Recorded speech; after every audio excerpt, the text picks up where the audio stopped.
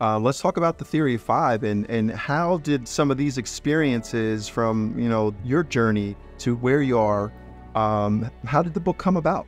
It doesn't change being that you're 57 years old or you're 50 years old or 18 years old. Mm-hmm. Who you surround yourself in makes a difference.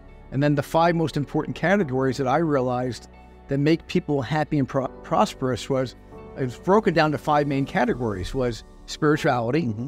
Uh, it was your relationships with your spouse or significant other it's if you become a parent or aunt or uncle the relationship you have with, with children and making a difference in their life uh, then uh, finances if you can't manage money you know it makes life easier when you can manage money and you understand money and last but not le- least if we don't have our health that makes a huge difference. So the five areas is the five people and the five areas of life that we want to focus in. And you might have one mentor for all five, but chances are you might have five different mentors for each one of those areas.